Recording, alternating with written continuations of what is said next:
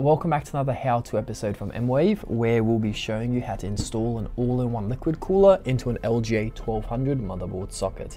For this tutorial we'll be using a 240mm cooler and the motherboard is a Z590 and I'll list all the products down below so you can find out more.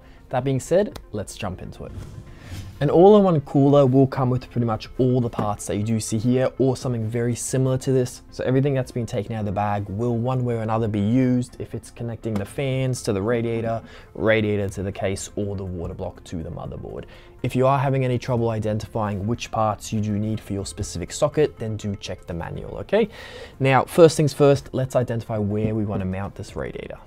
In this specific case, we do have two options for mounting, so we can go at the top or at the front of the case.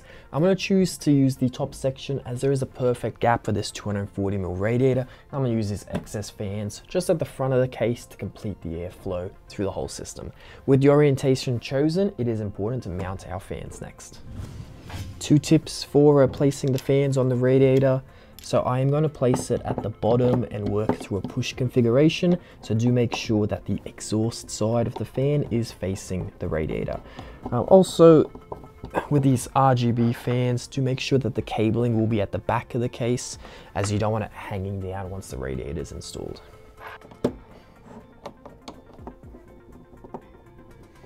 Our radiator is all prepped, however we do need to attach these little side brackets to our water block here. This can be done a little bit later on, however while it's outside the case, it can put a little bit less pressure on the tubing. Quite easy to uh, install, they just go on opposite ends and just take two screws to secure. Just remove any covers or dust filters from the top and then carefully balance the radiator and try and line it up with the screw holes in the top of the case. Then just use the provided washers and screws to secure it into place. Um, now, if you are missing anything, just remember that everything required for the installation is provided, so maybe just double check your box and make sure you haven't left out a bag. Just feed any cables which might be dangling through to the back just to tidy up the workspace. Up next, we'll be connecting our backplate. Now this will sit on the back of the motherboard and secure the water block to the CPU. This is where the biggest variance will be in different type of all-in-one coolers. So if yours doesn't quite look like this, do check the manual. However, the process will be very similar.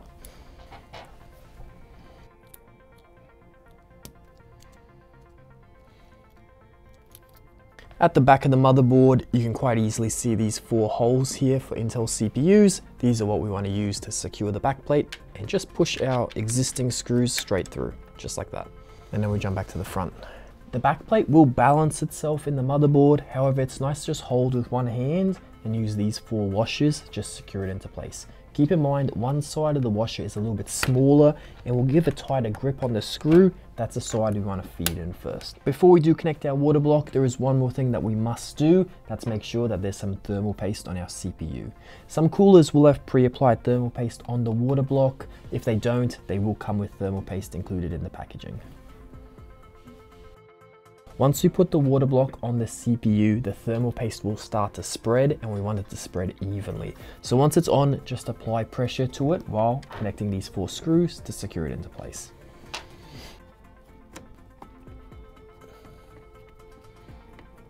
That's it for the installation. The final thing for us to do is to connect all these dangling cables from the water block and the fans. It is very important that we use the correct headers on the motherboard and the placement of these headers will change depending on the motherboard you're using at home.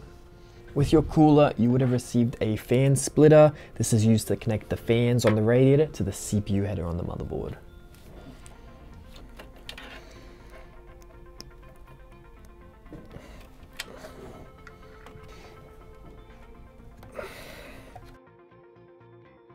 If your cooler has any RGB like our one does, you would have received an RGB splitter, exactly the same as the fans, connect all the RGB connections into the male ends on the splitter, and the female end goes into an ARGB connection on the motherboard. Lastly, the 3-pin connection on the pump needs to go into the AIO pump connection on the motherboard. Sometimes it is shared with a system fan. Identify it using the manual and plug it in. As I did mention, I will reconnect those front three fans just to complete the airflow through the system. But that's it for the all-in-one cooler installation. If the components you are using were a little bit different and you have any questions about anything we've gone through today, let me know in the comments below and I'll try my best to help you out. As always, thanks for watching.